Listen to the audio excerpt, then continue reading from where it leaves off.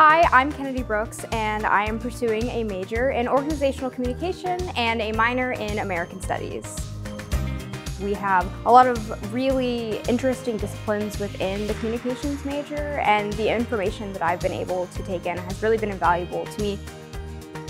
We're a school of 30,000 people, and yet sometimes I feel like I know literally everyone on campus. So it's really all about plugging into the community that you think that you want to be a part of and holding on to that.